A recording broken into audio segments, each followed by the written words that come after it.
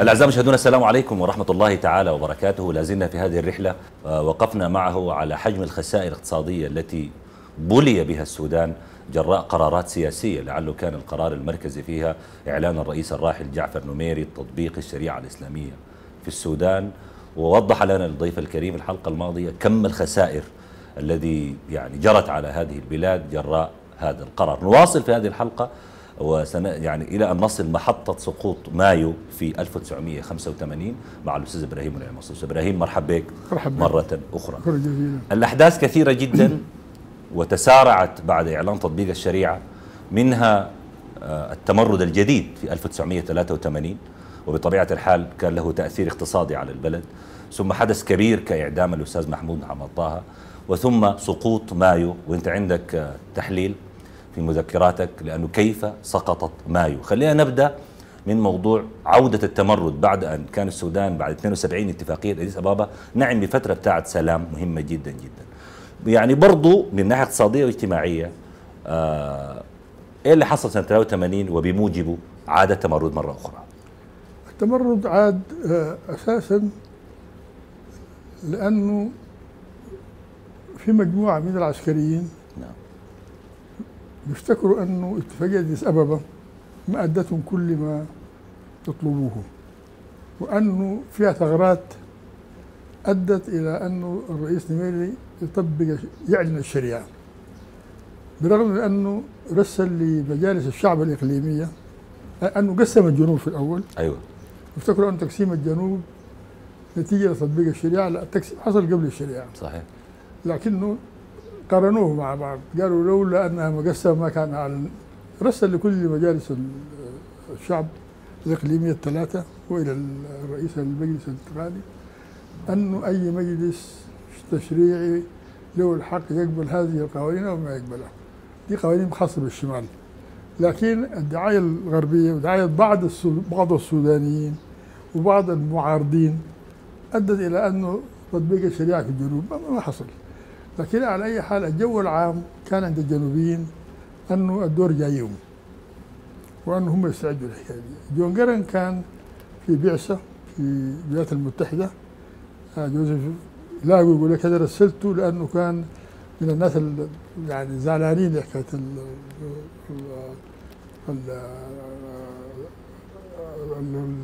سببها انها ما شملت كذا وكذا وكذا حاجات خاصة بهم هم فجرى وعمل هو الدكتوراه بتاعته في قناة جونجولي أيوة. واثار الزراعي والمرعى وخلافه وخلافه. جاء راجع بفكرة أنه هو حيغير الوضع في الجنوب. دي ما كانت معروفة للناس ولا كانت معروف ذاته جون منهم. إلى أن آه، حصل ال- التمرد. شبه تمرد في الجنوب. والخبر لما وصل كان في رأيين. رأي أنه هذا الأمر محدود ومقدور عليه وأنه يمشي وفد يتفاوض مع الجنوبيين ومع غيرهم ويهدئ المسألة كده في رأيي كان أنه يحسم عسكريا وأنه الجنوبيين يتدلوا أكثر من اللازم وأخذوا فرصة أكثر من اللازم عشان يمشوا في الخط ماشي البلد وكان هذا الرأي رأي القيادة العسكرية بقيادة سور الذهب. وجوزيف لاجو كان عضو في مجلس ال- الدفاع الوطني. أنا كنت عضو فيه بحكم الوظيفة المالية وفي عمر محمد طيب النائب الأول. وفي بعض القيادات من قيادة قيادة الجن... ال- ال- في في على النيل كانوا يفتكروا ده المسألة دي مقدور عليه وأنه يمشي آه، يتفاوض ويسوي. لكن في الآخر آه، رئيس نبيل طلع مننا وزير الخارجية هاشم عثمان فقال لنا يا ملكية اطلعوا برا تناقش الموضوع ده نناديكم بعده. فمرقنا أنا وهاشم بعد شوية نادونا قالوا لنا قررنا نحسم الأمر عسكريا. عسكرية حسب رغبة نائب القائد العام اللي هو سور الذهب ال- ال- ال- السودان الأمن فيه يعني عموما مخترق وما في أمن يقولوا عليه. الخبر قبل ما يطلع يصلنا إحنا الملكية اللي قاعدين برا. وصل. وصل. لما مشى الجيش من جوبا عايز يصل يحص يحصل ال- التمرد في على النيل في بور.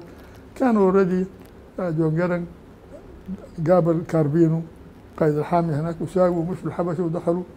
وبدأ التمرد سنة 83 آه علاقته مع الشريعه غير مباشرة. يعني هو بيفتكروا تناقش الموضوع ده في اجتماع أو في ندوة في الحقيقة في آه إنجلترا. في آه آه واتضح إنه فعلا كان في- دعاية أكثر من اللازم قل- قلبت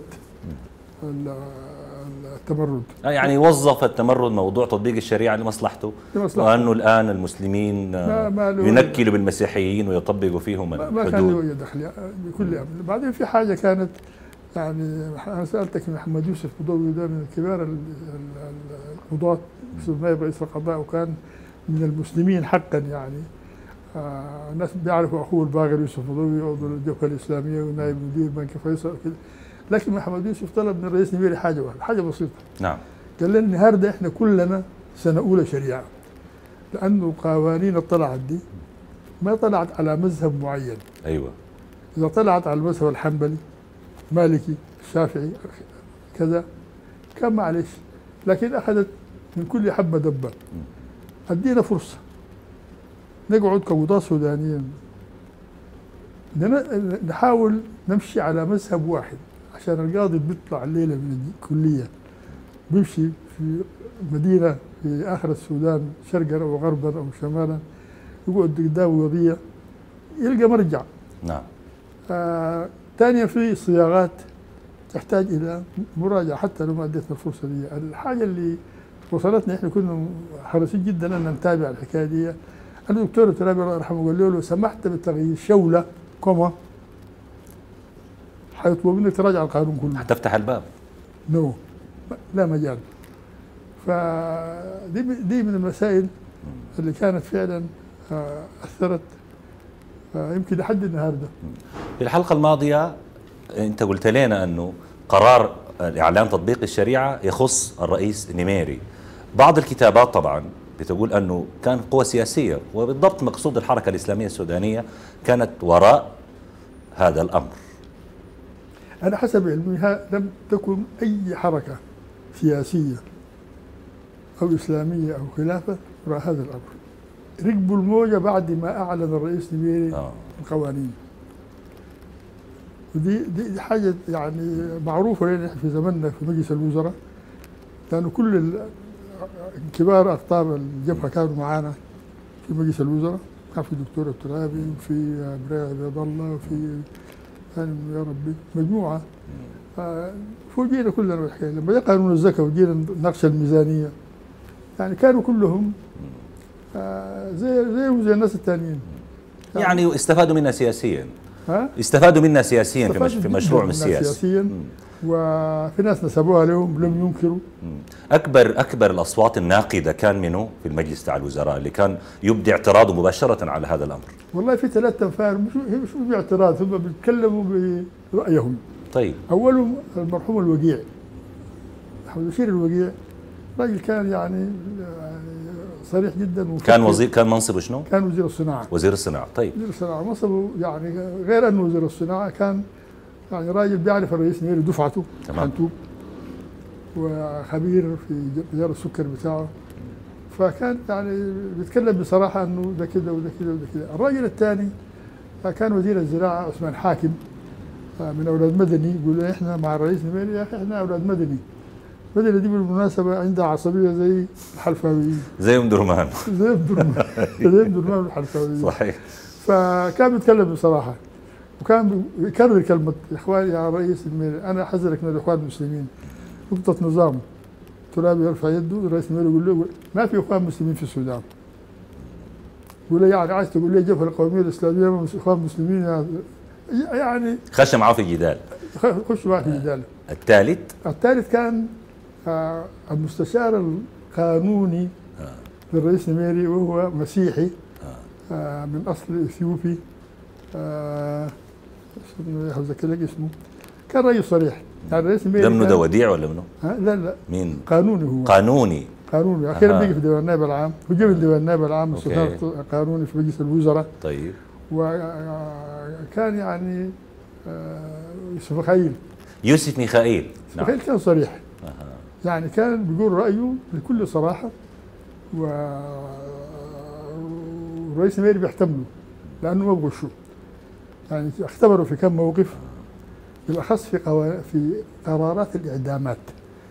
الرئيس- حجية طبعا الرئيس الميري كان حريص جدا أنه ما قرار الإعدام ما بيتم إلا بموافقة رأس الدولة. فكان هو بيقرأ ال- الوقائع من ل- ل- ولو أشكل عليه أي إشكال قانوني مستشير. طيب. يعني الآن نقدر نصل لنتيجة أنه بدأت العزلة عزلة السودان عن العالم. اقتصاديا وسياسيا بعد إعلان تطبيق الشريعة. هاي. العزلة بدأت الآن. العزلة بدأت تدريجيا. تدريجيا. تدريجيا في أوروبا. يعني بدأت طوالي في أمريكا. يعني ما دسوها. والرئيس نميري ما كان واعي بالموقع ده أنه إحنا الآن كانوا- نعزل؟ والله يا أخي أنا أنا ما أحب أقول فيك يعني آه، تعبير يمكن أتهم بما لا يليق وكده كانوا دائما يقول له سيغنيك الله من فضله. سيغنيك الله من فضله. نعم نعم يا الله. لكن في أسباب. طبعا. هاي. أكيد في أسباب. يعني لما كسروا ال 25 مليون. بتاعت الخمرة. هاي. 25 مليون دولار. أيوه قال له ربنا حي... حيعوضك. وقبل التع- التبرير. فبعدين كان في حالة بتاعت انجذاب أنا ما أعرف سببه شنو. الرئيس نميري ما كان الرئيس نميري المعروف بالنسبة لنا يعني كان لما تيجي ال- ال- ال- ال- ال- الكلام في المواضيع دي يعني بتشنج صادق المهدي آه، عمل موكب في عيد رمضان وعيد الضحية بتذكر من النوباوي لحد ساحة الخليفة. نعم. وراكب في حصان وفي يمينه ماشي على الأرض. آه، مبارك الفاضل وعلى شماله نور بن الدايم يعني ده ده الأحباب وده الأصحاب كده يعني. وأعلن أن هذه القوانين لا تسوى الحبر الكتب آه يعني سمح له بأنه يعبر عن رأيه لا ده في الم- خطوة العيد. آه في العيد. فثاني يوم آه. نادوه تعليمات من الرئيس نميري انه يعتذر عن الموضوع ده. وما اعتذر والرئيس نميري قال يعني أنا كنت في مأمورية ما بعرف بتاع شنو. فحكيت يمكن فقال قالوا له استتاب. السيد الصادق. آه، إذا ما إذا ما آه، تاب يجلد. ثم يستتاب مرة أخرى. إذا ما تاب يشنق. وهو اقتنع بالكلام ده. أنا جيت في الماموريه أول زور قابلني واحد من جهاز الأمن قال لي النائب الأول قال لك ما تقابل الرئيس نميري قبل ما تقابله. في شنو؟ حصل خلاف بينكم وبين الناس المالية قال لي لا والله ما بعرف النائب كان عمر أحمد عمر طيب. حطيب عمر حطيب جيت لقيت مع عبد الحميد صالح الله أيوة. يرحمه. وقال لي يا أخي إحنا في ورطة الرئيس نميري حصل كذا كذا كذا كذا كذا. ومصير قال ما بيقبل أي وساطة. عليك الله أنت حتمشي المفروض تمشي له في الأول تعمل له briefing حتى تجيني لكن لما تمشي كده شوف مكتب شنو راجعوا لنا. قلت له أنتوا بقدروا تراجعوا أنا راجعوا كيف؟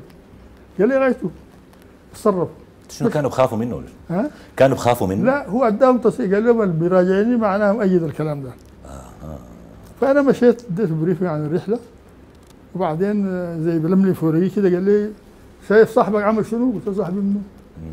قال لي صادق عمل شنو؟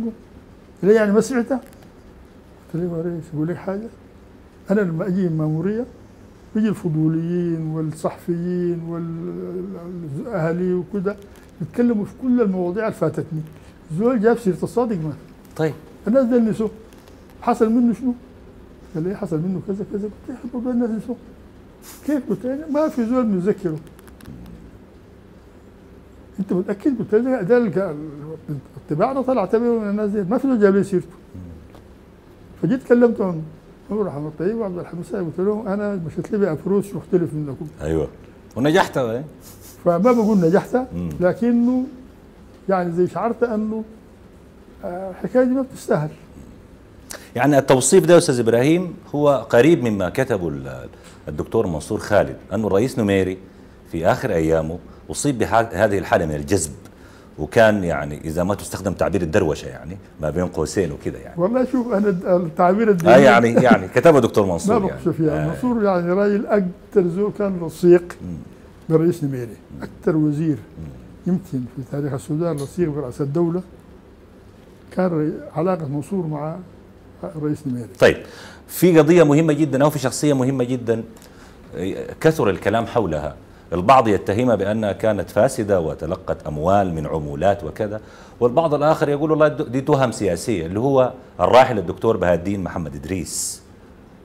إيش شهادتك في دكتور بهاء الدين بهاء الدين شخصية كانت يعني مقربة جدا للرئيس نميري وكان كفء جدا في أداء واجباته. طيب. الاتهام أنا ما كنت وزير لما ثار الاتهام حول أنا طلعت من الوزارة فترة وجيت راجع. لما جيت وجدت في ثلاث ملفات فيها نوع من الشبهات. أول حاجة استيراد ال- ال- القمح والدقيق طيب. والبترول والسكر. كان في فجوه في الثلاثه دي. زي الحال الحالي. آه عرفت أنه المصادر التصديق لازم يكون من وزير المالية في النهاية. لأنه هو اللي بيشي الالتزام الخارجي هو اللي بيطالبوه بسداد الديون وهو وهو وهو. فحكوا لي بعض الموظفين اللي كانوا موجودين أنه كل شيء بيطلع في العطاءات حسب اللوائح. تمام. لكن في حاجة. أنه بيطلبوا في العطاء تقدم فترة تنفذ فيها العطاء ال ال ال القرض تدينا قرض مدته كم؟ كيفية السداد. تمام. قال لي اللي بيحصل أنه ال- يكون فضل للقمح أو الدقيق أو السكر أو البترول ما يكفي ثلاث أسابيع. وتطلع العطاءات. يقول يقدم زول معين.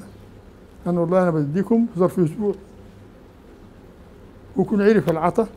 حيطلع قبل كده. والباخرة بتاعته كانت على مشارف دور السودان وبديكم آه، فترة سداد ستة شهور. بعد آه، ال- الحب بضاعة وبديكم آه، فوائد كذا في المية. لكن في حاجة الناس دائما يطلبوها منكم أنتوا في السودان دولة ذات مخاطر يطلبوا منكم حاجة اسمها ال country risk. تدفع كذا في المية زيادة على الفوائد. ده. وتدفع كذا وكذا وكذا وكذا. تمام. كان العطاء باستمرار بقى لشخص واحد. باستمرار. ها؟ باستمرار لشخص واحد. باستمرار لشخص واحد اسمه خضر الشريف. وكان أنا ما كنت بعرفه كنت شغال في السوق في المقاولات وهناك وشغلي شغلتنا قروشنا وكده وده- والناس المقاولات فيها قروش كثيرة جدا. كنا ندفع ضرائب يعني. لكن أحسن من وزارة المالية؟ لا وزارة المالية دي ما أنت شغال. حكومة. ده شغل بتاع خدمة عامة. وظيفة يعني. يعني وظيفة. طيب. فأنا كنت في في اجتماع يعني ما أنسى الحادثة دي بتفاصيلها كان في عطا بتاع سكر. مهم. المؤسسة العامة للسكر تابعة للمالية. تمام. لأسباب تاريخية. فقالوا لي كان الرئيس الاجتماع عبد المجيد حامد خليل بتذكر. قالوا لي عايزينك برا آه لأمر هام. فبركت وجدت آه وزير التجارة اللي طلع العطا ومدير مؤسسة العامة للسكر ومعهم واحد شخص ما أعرفه منه وقالوا لي أحصل كذا كذا كذا. قلت لهم لكن ده العطا الوحيد. قال لي لا في عطا أرخص منه لكن الزول ده لأول مرة يقدم. نحن ما بن- ما بنقدر نخاطر. وكذا قلت لهم يعني ترددت أنا في القبول وكذا. فالرأي يعني استفزاني. آه، اذا ما عايز تقبل خلاص أنا بسحب العرض بتاعي. قلت له الزول ده شغال في وزاره قال لي أنت ما عارف ده؟ ده خضر الشريف. وين هو خضر الشريف؟ بهديه كان معهم. الله يرحمه. قال لي ده راجل في الحقيقة إحنا في الرئاسة لما تكون في إشكالات نستعين به له نوسطه وكذا ويعمل كذا المهم عرفت بعد ذاك إنه هو هو الوسيط في كل العمليات التجارية دي للأسف الشديد. آه زي ما قلت لك كل شيء بيطلع حسب النظام. آه بعدين في السداد. طيب. أنه السداد في ظرف كذا شهر. عرفت كمان بطريقة ما أنه متفقين مع بنك. السداد ما بتم في المدة دي. البنك بيسدد لهم قبل كده. قبل؟ آية هذه كل المعلومات دي اتجمعت في الآخر استلمنا موضوع العطاءات ودخلنا في إشكالات ما بدأ أقول لك لكن تبين لنا أنه كان في نوع من الفساد في موضوع عطاءات السكر والقمح والبترول وخلافه. آه مشينا الكويت لمؤتمر آه، خاص بالمالية وأنا ما كان مالية زي ما قلت لك في آه، حلقة سابقة كانت ممنوعة من التدخل في موضوع البترول. اتصل بي وزير البترول ال- الكويتي بعرفه وكان معي فوزي وصفي الله يرحمه وقال لي يا أخي افتقدناك وكده وأنا دلوقتي أنا عندي طلبات لبترول للسودان. طلب من المؤسسة العامة للبترول وطلب من وزارة من سمسار يورد للحكومة السودانية. وللأسف الشديد. في تعاملنا السابق طلبات السمسار تسدد قبل طلبات المؤسسة. قبل؟ أيوه. يا أخي الموضوع ده بتاع أنا يعني وده فساد. لما قال فساد قلت له شوف. ما تجيب كلمة زي دي أنتوا في الكويت عندكم فساد أسوأ من كده. عندكم سوق المناخ وزير المالية بتاعكم استقال ومشرق. فما تتهم يعني اتنرفزت في الحقيقة وجدت أنه لو قال لي والله أي كلمة غير دي. تجاوز أي تعبير تجاوز كان. يعني الواحد بيحتمله كده لكنه آه، آه، العرب عندهم العمولات والتعامل حلال بالنسبة لهم. يعني يعني انت اكتشفت ان في فساد في في موضوع. السكر والقمح وكذا لكنه ال- البترول ما كنت بتدخل فيه. أيوه. ال- ال- القمح وال كنا بندخل فيه. هو إنه تابع القمح لوزارة التجارة لكنه في الآخر مو- الموافقه على ال- العطاء. وين وين كان الرئيس نميري من مثل هذه يعني؟ والله الرئيس نميري كان على علم؟ كان؟ أنا بفتكر ما كان على علم تام. لكن كان بس بيجي يقول له والله يا سيد الرئيس قدرنا نحل مشكلة كذا. نحل ده اللي عرفته فيما بعد. آه خضر الشريف كان ما ظاهر. ده الوسيط. كوسيط ويقوم بالعمليات دي كلها كوسيط. عرفت أن الوكيل الرسمي لشاكر واحد اسمه شاكر يمني هو اللي بيمول القصة دي كلها؟ الراجل ده آه، كان ما يعني الوكيل الرسمي الشرعي آل أبو العيلة عبد السلام ونائب العيلة لكنه بديهم العمولة العادية نصف المية. وهم بيقدموا العطاء باسمهم وكل شيء لكن بعد ذاك كل الإجراءات بتتم. في غياب عنهم. وما لهم دخل فيها؟ طيب أنا بعد إذنك أطلع فاصل أستاذنا إبراهيم ثم نعود لنواصل هذا الحوار. كونوا معنا بعد هذا الفاصل. مرحبا بكم مرة أخرى لازلنا في هذه الحلقة تتبعا في هذه السيرة. أستاذ إبراهيم مرحبا بك مرة أخرى. مرحبا شكرا. آه، قلت قبل الفاصل أن الرئيس الراحل النميري يعني لم يكن على علم دقيق بهذه التهم تهم الفساد. في شخصية ثانية برضو تذكر كلما يذكر الدكتور بهاء الدين محمد إدريس وهو شخصية عدنان خاشقجي. طيب. آه، الرئيس نميري لما كثر الكلام وسط الناس عن عن بهاء الدين اداه إجازة. وقال يا إخواننا هل عنده أي كلام أي تهمه أي جناية عن بهاء الدين يكلمني بها يجيني بها أنا أبعدته خلاص. لم يعد وزيرا. اخذ ثلاثة شهور ما في زول قدم له حاجة لكن الناس بيتكلموا طبعا وهكذا. عدنان خاشقجي آه، لو تعرف آه، عبد الرحمن كبيدة. ده أول زول قاد انقلاب في زمن عبود يرحمه. أيوة. آه، كبيدة آه، رئيس نميري وزملائه بيعتبروه يعني زول آه، بالنسبة لهم زميل وفتح الباب وقومي عربي وكذا فعينوا في وظيفة بتاعت آه، السياحة تدير عام مصلحة السياحة. كبيده مشى للمنطقة اللي هي المدينة اللي يعتبر مدينة السياحة في العالم العربي بيروت. في بيروت اتصل بواحد صاحبه يا أخي أنا ده أنت كذا كذا كذا عايز أعمل مصنع لا أنا يهمك في زول. يعني ملك السياحة يعمل لك أي حاجة أنت دايره وكده طيب. لما هو في واحد اسمه ذكر اسمه لبناني اللبناني ده لما عرف الموقع بتاع آه، كبيده وأنه كان كذا وكذا قال لا أنا يهمك في زول السياحه دي عايزة قروش تعمل منتجعات وتعمل شنو وتعمل شنو وتعمل. اسمه سليم عيسى. والزول ده هو أبوه كان مستشار الطبي للملك آه، آه، سعود والملك فيصل من بعده. وهو دلوقتي رجل مال كبير اسمه عدنان خاشوجي طيب. كبير ساق عدنان خاشوجي وجابوه السودان؟ وبدأ يتكلم معه في موضوع السياحة. آه، عدنان رجل ذكي جدا عرف إنه كبيده يعني صديق للرئيس نميري لكنه كمان في زول أقرب للرئيس نميري اسمه بهاء الدين فقال له بهاء الدين أنا ممكن آه، السياحه دي موضوع بسيط. كلها كم مليون دولار لكن أدخلكم في مشاريع وأعمل لكم وأعمل لكم وأعمل لكم.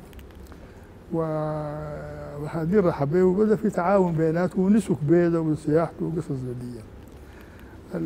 سنة ها؟ سنة كم الكلام ده؟ الكلام ده 84 في 83 83 حاجة زي دي. طيب. 82 لغاية في الثمانينات تمام. دي أواخر الثمانينات تمام. ابر ايتز نعم. ف عدنان خاشقجي راجل واضح وراجل صريح وناعم جدا.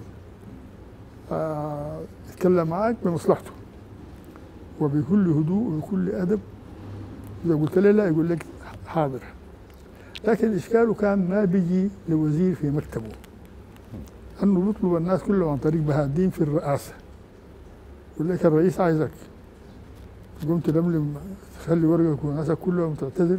تمشي الرئيس تلقى أنه قبل ما تخش على الرئيس تخش على الرئيس وزير مجلس الوزراء. كان هو اول رئيس الوزير الرئاسة. يدخلك على مكتب فيه عدنان وأنه يقول لك إحنا عايزين نعمل كذا وكذا وكذا. أكثر زول كان تعبان في الحكاية دي أنا وإلى حد كان بشير عبادي ما بتذكر في شنو. لكن أنا كنت أكثر زول تعبان في القصة دي كوزير المالية. أول حاجة جابيها إنه سيبكم من ال 5 مليون 3 مليون أنا أجيب لكم 200 مليون دولار قرض من السعودية. للسعوديه 200 مليون دولار. هاي وكان الرقم مخيف يعني. طبعا في ظل الأوضاع ديك يعني. إحنا بالنسبة لنا كان يعني أقصى حاجة نلقاها 50 مليون 100 مليون في مشاريع محددة وكده. واستمروا في الحكاية دي في نقاش وكده. وال 20 200 مليون دولار قسموها على 20 بنك عالمي. كل واحد يدفع شوية. بضمانة آه، البنك المركزي السعودي سامة. وجابوا القرض الاتفاقيه الناس كلهم مديرين البنوك وعدنان وكده للرئيس. وكان في مؤتمر الاتحاد الاشتراكي وانتشر الخبر أن السعودية قدمت 200 مليون دولار آه، قرض للسودان وكده. فأول حاجة آه، المحامين بتاع البنوك قالوا عدنان بيمضى منو قال لهم وزير شؤون الرئاسه قال له لا يمضى وزير المالية. وزير المالية. أول يعني. مرة نعرف أنه في حاجة دي كانت دايرة وراء الكواليس. فجينا وعلى عجل درسنا الاتفاقية. وجدناها اتفاقية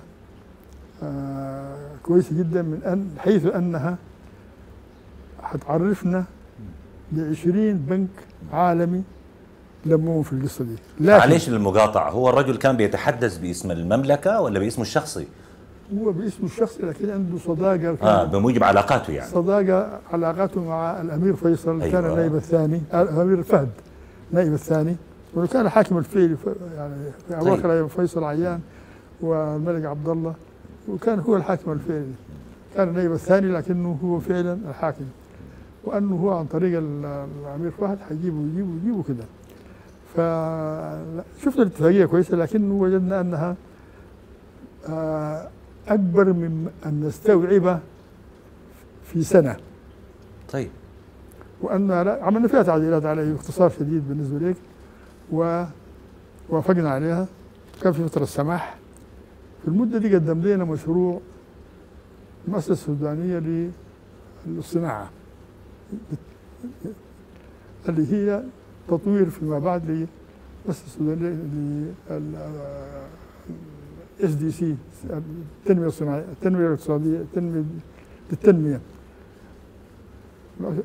فجابوا أنه رئيس مجلس ادارته رئيس نميري. مم. أعضاء مجلس الإدارة وزير شؤون الرئاسة آه، وزير المالية والمدير التنفيذي عدنان خاشوقي جاب القانون ده وفي آه، أو أنا جيت الرئاسة ادوني له. قلت لهم والله عندنا فيه تعديلات بسيطة أدونا فتره 48 ساعة. قال كويس. وما بقول لك ابدا. عدنان خاشوقي من صفاته. مرن. مرن أكثر مما يجب. بيعرف اهدافه لكن. يمشي وراك أيوه. يعمل الدائرة فأنا مشيت آه معلش يعني كلمة أنا دي. لا لا تفضل. يعني عملت تعديلات جبت قانون البنك الزراعي البنك الصناعي البنك العقاري وقانون بنك السودان. ومنهم ولفته قانون مصر التنمية الصناعية السودانية حالي دي. و بدينا نطبع فيه بالعربي والإنجليزي. قال قال لي والله عدنان ده مسافر بكرة. القانون ده لازم يجي النهارده لحسن الحظ كنت انتهيت. جبته له.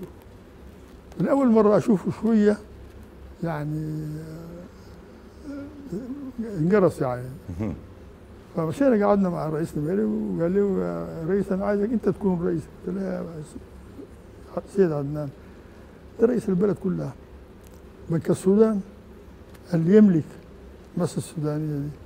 للتنمية. ب- وزير المالية ما رئيس مجلس إدارته ما ممكن رئيس يكون مجلس إدارة بتاع مؤسسة تكون تابع في النهاية لوزير لبنك السودان. رئيس المالية قال الكلام ده صح. طيب وزير المالية ما حيكون رئيس عضو في مجلس إدارة. طيب. قال صح. المهم رئيس المالية وافقنا على كل شيء. عدنان قال كويس. خلاص ما في أي مشكلة. أنا قبلان. آه، طلعنا فالرئيس المالي قال لي عدنان ده لما كنا بنا كان بيناقش معانا ال- القرض بتاع سامة دي قال هو كوسيط يدوه 6% عمولة من ال 200 مليون. من 200 مليون. 6 مليون دولار. آه. اللي هي 3% 6 مليون دولار. 3% اللي هي لما تقول 3% بسيطة 6 مليون تشاف كثيرة. نعم. لكن قال أنا أنا ما براي. ده عدنان هاي معاي فلان من السعودية ومعاي المهم الرئيس قال لي قال لي 6 مليون دولار جيب لنا 200 دولار.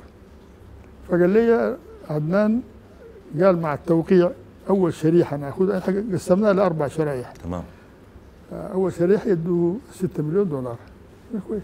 يعني هو ياخذ الكوميشن ال- ال- نسبته دي من أول مبلغ يدفع. ما بينتظر. وبقول لك بصراحة أنا ما لا بستثمر في تجارة ولا صناعة ولا زراعة. أنا راجل بتاع عمولات بجيب الشغل بتاعي تدوني عمولتي وابرق منه بيقول الكلام ده عديل. طوالي. مباشرة. مبارك. وبعدين آه، ما في داعي يتعرض إنه عرض سمسار يعني. سمسار. سمسار. عليه كذا وكذا وكذا. المهم دي انتهينا منها. وافقته أنه يأخذ ال 6 مليون من الدفعة الأولى. ياخذها 6 مليون من الدفعة الأولى. كانت 50 مليون. 50 50 50 طيب.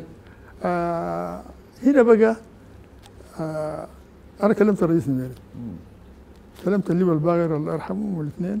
كان هو النائب الأول وكان مسؤول عن شؤون الأمن. تمام.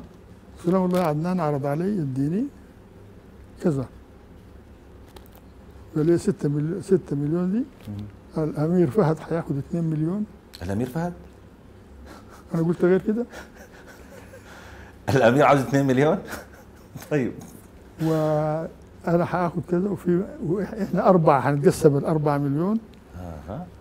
أنت حنديك قلت له قبل قال لي كم؟ أنا ما داير اخذ قال لي لازم تاخذ قلت له ما باخذ قال لي سيبك طيب. حسابك برا وين؟ قلت له أنا ما عندي حساب برا حسابي بس في بنك النيلين هنا. قال لي لا لا لا أنا ما داير أغرق.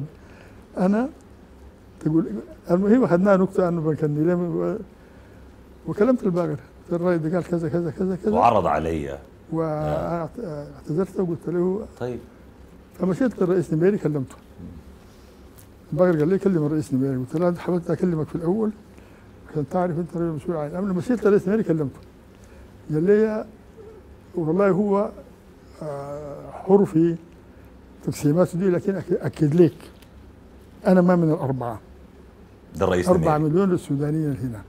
أنا ما من الأربعة. قلت له يا رئيس أنا ما اتهمتك أنت. معناه عارفهم لكن هو؟ قال معناه عارفهم هو. فانتهينا من القصة دي. لا قلت لك يعني النميري لا، كان عارف لا. الأربعة منو ولا شنو؟ لما قال لي الأربعة منهم. قال لي أنا ما من الأربعة. قلت له الأربعة قال لي في أربعة في السودان حياخذوا نصيبهم. أنا كنت داير تكون أنا أكون واحد منهم. فقال لي أنا ما قال لي أكد لك أنا ما من الأربعة. طيب. انتهينا من الحكاية. بعد ذاك عدنان كان بيجيب مشاريع. إحنا عملنا ال SDC دي وقلنا تبدأ بتمويل ما هو موجود في الخطة الثلاثية الزراعة والنقل. دي أسبقيات الخطة. طيب. فجاب لنا مشروع ب اسكان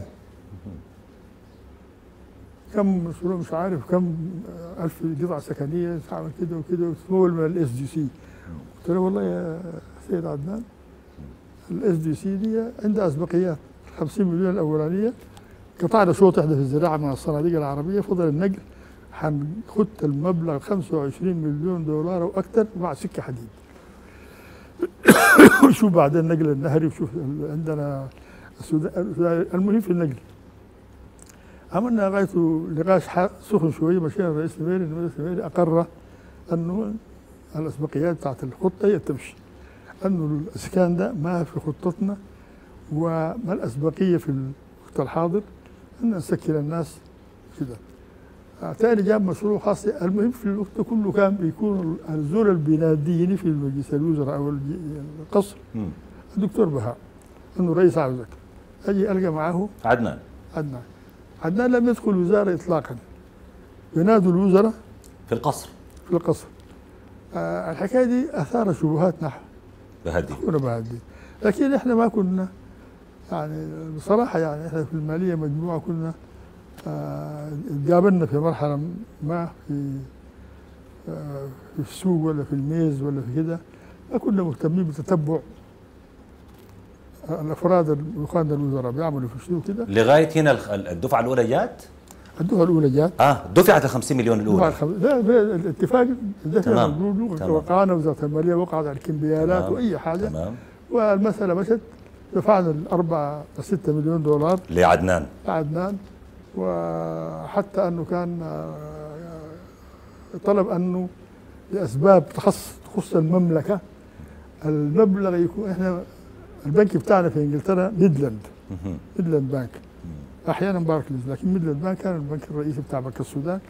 قال لنا المملكة عايزاه القروض تكون في كيس مانهاتن في أمريكا. في أمريكا. قلنا له ما في مانع. ورئيس الجيش مانهاتن آه، آه، اسمه منو. طيب. ده اقتنع أنه آه، يعمل حاجة أكبر من كده. لما شاف أنه جاته 50 مليون. 50 مليون جاية ثاني 150 مليون. آه، آه، اقتنع أنه يعمل حاجة أكبر من كده. ده عدنان. لا مدير البنك ده مدير البنك الامريكي طيب الأمريكي. طيب. مدير البنك الأمريكي آه، اتكلم مع منصور خالد في الأمم المتحدة وقال له وزير المالية جاي هنا لاجتماعات البنك اجتمع معي وقال لنا إحنا دلوقتي مثقلين البنوك كلها مثقلة. بالدولارات اللي جات نتيجة اسعار البترول. عندنا إفراط في السيوله دايرين نعمل أجهزة تتبع لنا خارج الولايات المتحدة وعلاقتها آه، واهية يعني بالبنوك الرئيسية عشان ما يدفعون ضرائب يدفعون المهم وأنا بعرض عليكم في السودان أنه نعمل ايجنسي وكالة. وكالة.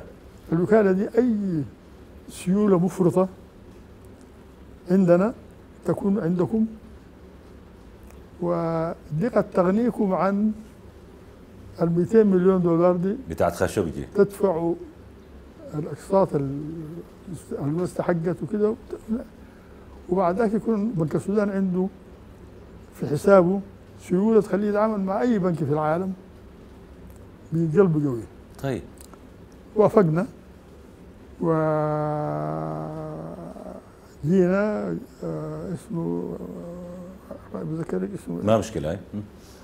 جاء وقال أنا لكنه في حاجة أقول لكم مش لأني ما بثق فيكم.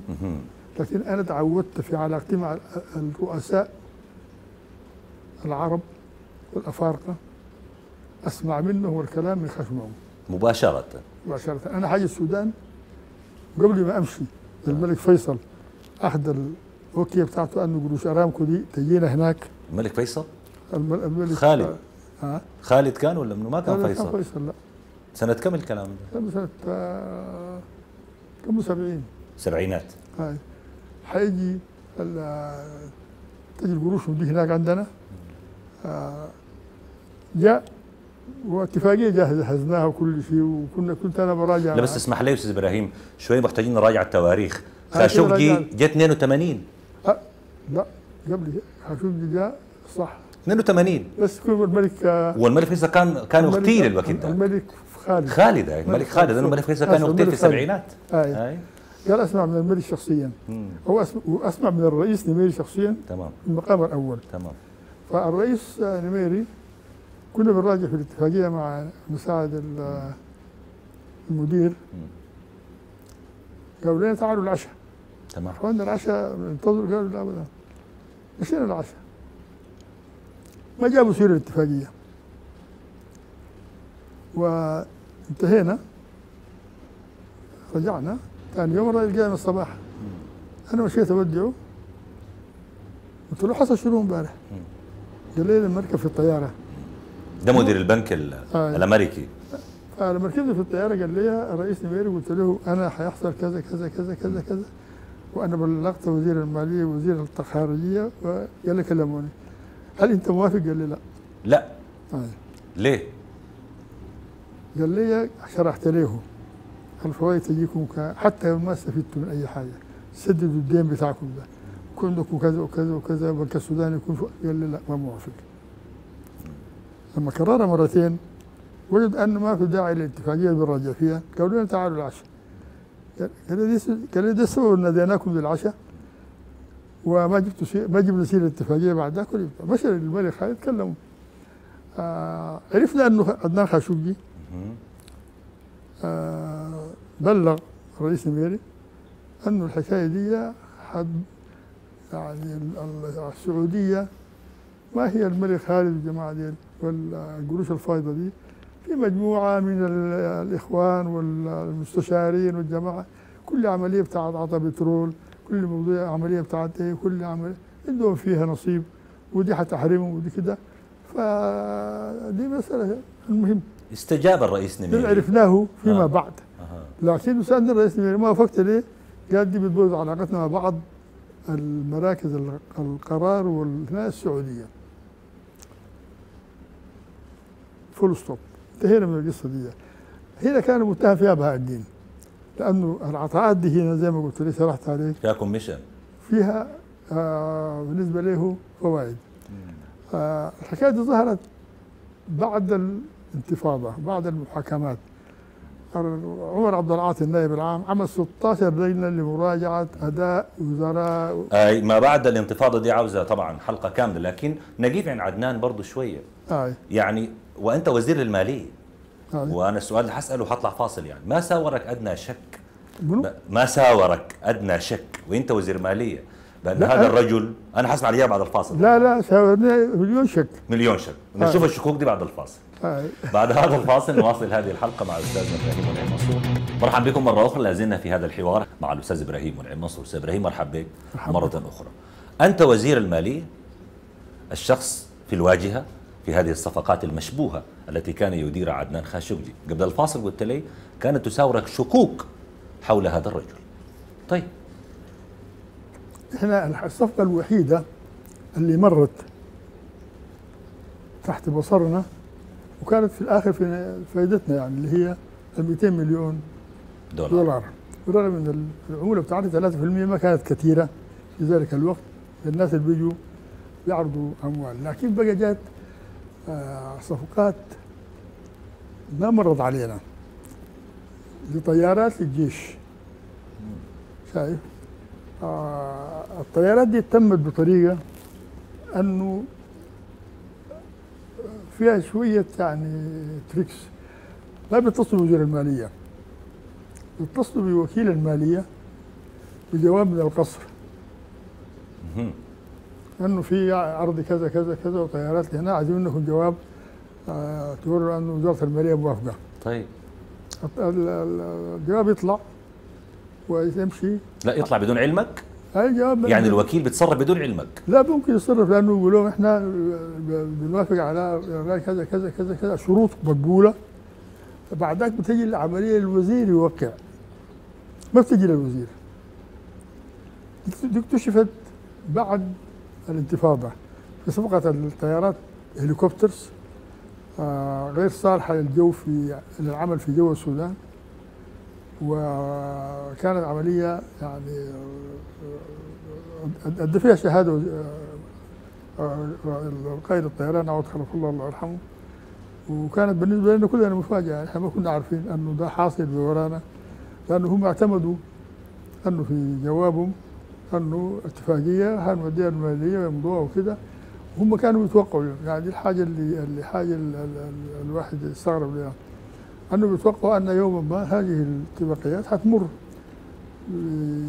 سلاسه الصفقات دي كلها وراها عدنان خاشقجي. كان ولدنا خ- وكان بياخذ تاني نسب ولا بس اكتفى ما ديك؟ عارف لا، أنا ما كنت معاه في الكليب. لا يعني الراجل ده مجتهد قدر كده معناه يعني. بعدين الراجل تاني كمان جاب حاجة اسمها عربيات Range Rover. طيب. وتاني جاب عربيات للجيش. Rover دي جابها آه ما نجحت في رحلة واحدة لدارفور لأنها كانت بنزين والرئيس نميري وقفها قال له دي بتصلح لنا. وقف الع- العملية كلها والعربيات وكده لكن بعد ذاك قدموا عملية مع واحد اسمه رئيس الهيئه التصنيع الهيئه العربية للتصنيع يمكن تتذكر اسمه اللي اتهم انه double agent مع إسرائيل وتوفى في آه أنه يجيبوا عربات مصفحة اسمها صلاح الدين من مصر من الهيئه العامة للتص- للتصنيع ويجيبوا ثاني عربيات شنو كده آه للجيش وتمول الهيئة العامة للتصنيع. كهدية للسودان ما تعرف هذه قرض للسودان ما, ما, ما ظهرت في الأفق. أي ورقة خاصة بها إلى أن آه، تكلموا بها بعض الضباط انه يطلع عربيات صلاح الدين وكده سألنا الرئيس المالي أنتم تعملتوا اتفاقيه قال لا. آه، إحنا طلبنا قدموا لنا عربيات ألمانية اسمها يوني موج يوني موج دي من من آه، يعني الميزة بتاعتها أنها إذا ضرب لغم بيضرب اللستك الواحد اللي حوله اللغم ما بيضرب العربية كلها. ولا يوقف العربية. وهي فيها زي ثمانيه رساتك اثنين قدام وستة ورا. فالعرض ده قال ما جانا جاتنا آه، صلاح الدين دي من الهيئه العربية. المهم هو عمل يعني أشياء آه، أنا في الآخر ما حضرتها لكن ظهرت آه، كمسائل في المحاكمة بتاعت بهاء الدين الله يرحمه. وزي ما قلت لك الرئيس نبيل شك في بهاء الدين. طلب انه يبدو بعد ما في زول الدواء قعد ثلاثة شهور ما في رجعوا ثاني في سؤال هنا مهم بيطرح نفسه. يعني كان عدنان خاشقجي يستمد قوته من علاقته مع الراحل الدكتور بهاء الدين. هاي وكان هو مدخل الرئيس نميري. هاي مش هو براه. آه. كثير من ال- ال- ال- السماسرة أو ال- ال- رجال الأعمال الأوروبيين يقول لك نمشي لبهاء الدين. مباشرة. هاي وكان حديث الناس في الوقت ذاك حديث الشارع أنه عدنان خاشقجي مع رفقة الدكتور بهاء الدين يعني الآن هم عمليا يدمروا في الاقتصاد السوداني. عرض عليك أنك يرشيك يشتريك ورفضت. هاي طبعا ما حقول لك آخرين اشتراهم. لما قال لي اسماء ناس ثانيين لا ما ما- غير إنه يقول لك أنت ما كنت جوا الملعب يعني. ولا كمان ذكر لي الثلاثة الثانيين منهم لكن آه آه، زي ما قلت لك إحنا يعني عارفين في شبهة لكن ما عارفينها بالحجم ده. يعني لما مرت حكاية ال SDC ولقينا إن حجينا 200 مليون دولار إلا صحيح مصيره شنو ال 200 دي؟ دفعوها كلها؟ هي دفعت. ال 200 200 دفعت. آه يعني صدق الرجل جاب لكم لا لا القروش. هو شو بيقول لك؟ أنا أنا رجل عمولات رجل واضح جدا. آه بقوم بعمليه بعمليه تماما وآخذ قروشي. باخذ باخذ العموله بتاعتي وبمشي. لا بستثمر لا غرضي حتى لخص لي أستاذ إبراهيم أهم مظاهر الفساد في تجربة السودان مع عدنان خاشقجي أهم مظاهر الفساد شنو كانت؟ العمولات شنو؟ أهم مظهر كان هو موضوع ال- علاقته دي أنا ما حضرتها علاقته مع الجيش إنه كان بيورد هو الطيارات دي. ما نافعه في طيارات ثانية عن عن طريق وسيط إماراتي كان المفروض تجي وقفت لأنها الإماراتية ذاته ما نفعت معاهم. قالوا الجو بتاعنا ما بتصلح له من باب أولى ما بتصلح لنا هنا. هناك الجو شوية فيه رطوبة أحيانا. لا، يعني آه اتصالاته كانت كلها خارج نطاق الخطة بتاعت البلد. إحنا جانا في موضوع المباني زي ما قلت لك. الإسكان. وجانا في موضوع ثاني خاص ب حاجة بتذكرش حاجة مهمة بالنسبة له هو وقلنا له والله برضه دي ما داخلة في الخطة بتاعتنا. لأنه عندنا ثلاث سنين مركزين على الزراعة والنقل. لحسن الحظ ما جانا بمشروع خاص بالنقل لأنه النقل كان فيه سكة حديد آه هيئه قايمة بذاتها بتدرس من قبل الفتح شغالة في الشغلانة بتاعتها دي وعارفة شغلها النقل النهري النقل ال- ما دخل في طيارات البوينغ في أمريكا مشينا اشترينا أربع طيارات بوينغ. معلش أنا آسف المقاطعة. طالما ال 200 مليون دولار جات ليه ما أنعشت الاقتصاد؟ وظل الجنيه يتهاوى والأوضاع الاقتصادية تسوء ثم تسوء. لا الجنيه الخمسة الاربع من ال 200 200 دولار كانت على أربع شرايح كل ست شهور. طيب. شريحة. إحنا الشريحة الأولى زي ما قلت لك استثمرناها في النقل. في النقله هاي في النقل أساسا. وفي تصليح بعض آه، مسائل في المينا طيب. وطريق آه، العقبه قبل إنشاء طريق بورسودان على هناك طيب. أنا للأسف ما حضرتها أنت كنت خرجت من الوزارة. خرجت من الوزارة. آه. لكنه اتدفعت دفع. ودفعت كراس مال لل SDC. وال SDC كانت مستثمراها للأسف الشديد في فوائد في حسابات برا فوائد. يعني ما آه يعني ما وظف القرض ده. بشكل يعالج مشكلات الاقتصاد. لا لا. ما وظف ابدا. لا, لا ما وظف في سؤال حول عدنان نفسه. عدنان كان الرجل هذا الرجل الناعم يعني القادر على الوصول لأهدافه. عدنان تاجر سلاح. هاي. شنو المخاطر المخاوف من عدنان كانت؟ والله إحنا ما زي ما قلت لك معاملتنا معه كانت في القرض دي وفي كم مشروع قدمهم لنا رفضناهم في المالية. واقررنا فيهم الرئيس لو انهم كانوا خارج. ال- حذرني منه آه، محافظ ساما راجل اللي هو البنك المركزي في بنك البنك السعودية. السعودي اسمه أنور علي باكستاني مستلف من ال IMF تعرفنا عليه. ولما سمع ما في حاجة في الدسة أنه كم مشروع مر علينا ورفضناه وكذا فقال قال لي اعمل حسابك من هذا الرجل. من هذا- عدنان. هذا الرجل قاتل كيلر. هيز كيلر براذر حذرك أنه عدنان خاشقجي قاتل. تعمل حسابك. طيب. قلت له كيف؟ قال لي ما ما بعرضك. اطلاقا. أي حاجة تقول يقول لك ده بلدكم أنتم عارفين أي حاجة فيها. أنا أنا جيت أخدمكم اخدم الرئيس نمير ده راجل يعني وكده. لكن بيعمل من وراك شيء قد يضرك. إذا كر- كررت اعتراضك. تعطيل مصالحه. في راجل تاجر سلاح زميله دخلوا عرفوا دخل في لاكوندا بطريقة ما خدر ورماه في حوض ال- الحمام كب فيه آه، حامض وأذاب جثته ما له أثر. عذاب آه، ذابت الجثة كلها في الحوض ده. فقال لي be be be careful brother كن حذر. فالراجل حذرني لكن لحسن الحظ. آه. يعني طلعت من الوزارة في الوقت ده أنا كنت دركت أنت طلعت من الوزارة ليه؟ والله شوف أنا طلعت من الوزارة لأنه اختلفنا آه، في المرة الأولى أو المرة المرة اللي أنت بتتكلم عنها دي آه، أنا قدمت استقالة. أيوه استقلت. قدمت استقالة في شركة وادي النيل. البرلمان هو رئيس الشعب. طلع قرار رفضه. و لقى التاريخ دلوقتي وكنت كان كجراح مع أصحاب لنا يعني كانوا آه، شغالين ضدي وكده. لكن المهم فيها أنه لما جيت راجع وجدت عدنان والمجموعه كده بدوا له وجود في أنا طلعت في آه، 75 ورجعت في أواخر ال 81 في ست سنين أنا كنت أمر الوزارة. فالمرة الثانية يمكن دي اللي بتهمك أنت أنه اختلفنا في مواضيع خاصة بتطبيق الشريعة. وأنه يعني بالطريقة دي المسألة ما حتمشي لقدام والبلد حتتدهور والناس اللي قالوها صراحة you cannot give Christian charity an Islamic regime. حيجيفوا خاصة أن الولايات المتحدة عداء واضح جدا. مع السودان جواب من سطر واحد. رفضوا. رفضوه ده بتاع القرض الياباني مش كده؟ ال- ما قرض. اليابان عندهم بقى نظام. إذا أدخلوك في نظام وزارة المالية وزارة المالية بتدفع بسخاء إلى 80% منحة و20% قرض ميسر. لما يسمى بالين سبورت طيب أنا قالوا لي إن الحلقة دي انتهت.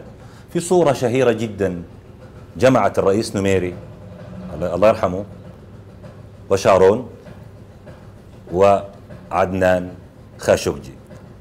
في قضية الفلاشة قضية مهمة وقضية ال- إعدام محمود محمد طه قضية مهمة.